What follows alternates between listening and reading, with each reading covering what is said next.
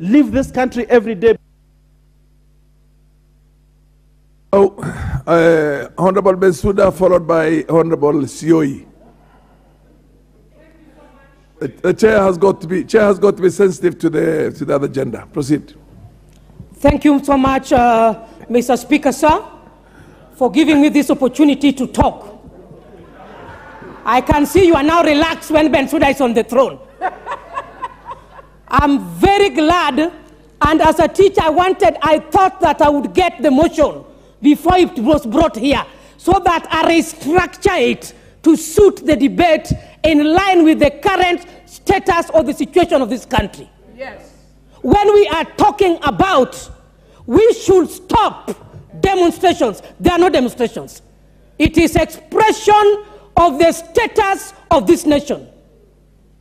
I want to advise and I want to make my contribution in regard to the Monday 20th peaceful march in exercising the opinion in mind, in action, and what Kenyans are undergoing. Yeah. I want to state, as the woman representative of Homa Bay County, Kabisa. this nation is hungry, and there is no question about it. Yes. My second contribution we were gladly advised by the vice president that business will run as usual.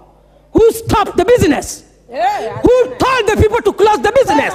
Nobody advised anybody to close the banks, to shut down the hospitals, to shut down anywhere. Nobody did that statement.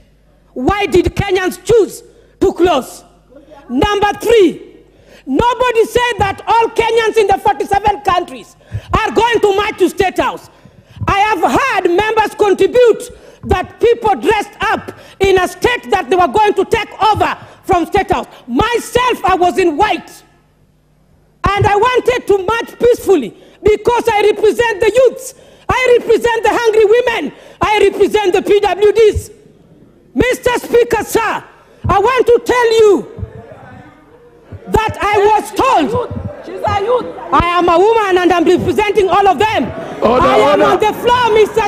Mr. Speaker, sir, can you What's your protect point me? of order? I do not Honorable want Baya? interference. Order, order, order. What's your point of order, Honorable Ba- Baya? Excuse me. Honorable Bensuda, a moment, a Point moment. of order. Yes. Uh, Mr. Speaker, Yes. while I consider it as an insult to the youth of this country, the, the age that is put in the website for Honorable Bensuda Order. is be, above 35 years. Order, We would like order, order, Honorable Baya, order. Order. Oh, eh, order, order. Honorable members, order. Order. If order.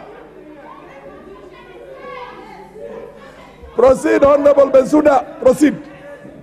Thank you so much, Mr. Speaker, sir, from protecting me. No wonder even the two-thirds gender rule cannot go through in this house. When I'm making substantive statements, and I think he was sleeping, I talked about representation. I didn't talk about youths.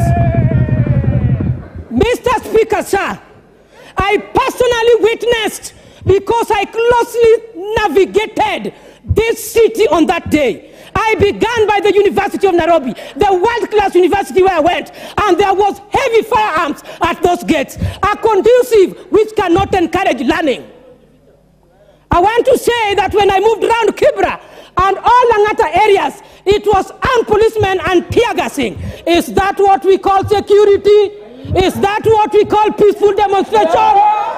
I want to tell you, Mr. Speaker, sir, we miss concepts and this country must be brought to order.